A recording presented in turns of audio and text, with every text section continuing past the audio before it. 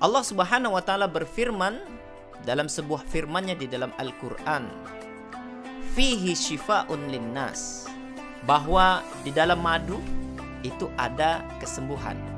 Masya Allah, kaum muslimin yang dimuliakan oleh Allah Subhanahu wa Ta'ala, ini adalah sebuah jaminan yang sangat dahsyat, di mana Allah sebagai Sang Pencipta yang menurunkan penyakit dan yang akan mengangkat penyakit. Allah Subhanahu wa Ta'ala mengatakan bahwa di dalam madu itu ada kesembuhan, maka apa pun sakit yang kita derita, apa pun sakit yang kita rasakan, kalau kita mengkonsumsi madu dengan penuh keyakinan, maka insya Allah penyakitnya akan hilang dengan izin Allah Subhanahu wa Ta'ala. Khususnya madu yang sudah dibacakan Al-Quran. Bagaimana cara membacakannya? Ambil madu, kemudian bacakan Al-Fatihah, ayat kursi, Al-Ikhlas, Al-Falak, dan An-Nas masing-masing tiga kali kemudian minumlah madu sesuai dengan dosisnya. Saya jadi teringat sebuah hadis yang meriwayatkan seorang sahabat di mana ada seorang sahabat yang perutnya sakit.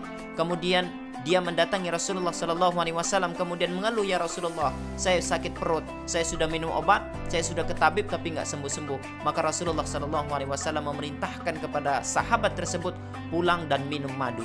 Maka kemudian dia minum madu ternyata tambah sakit perutnya. Dia pun mendatangi kembali Rasulullah Shallallahu Alaihi Wasallam. Kemudian mengeluh ya Rasulullah saya sudah minum madu tapi nggak sembuh juga. Maka kata Rasulullah Shallallahu Alaihi Wasallam kamu pulang minum lagi madu kemudian dia pun pulang lagi dan kemudian dia minum madu. Dan ternyata tidak sembuh dan tambah sakit. Maka kemudian dia mengeluh kepada Rasulullah ya Rasulullah saya sudah minum madu tapi nggak sembuh sembuh ya Rasulullah. Maka kata Rasulullah Shallallahu Alaihi Wasallam perutmu berdusta. Allah Subhanahu wa taala tidak akan mungkin berdusta dengan firman-Nya bahwa di dalam madu ada kesembuhan untuk manusia. Pulang dan minum madu.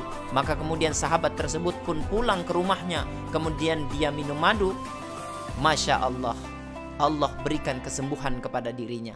Kaum muslimin, ketika kita meminum madu dan kemudian kita menemukan bahwa penyakit kita nggak sembuh, jangan langsung menyalahkan bahwa madu itu tidak bisa menyembuhkan.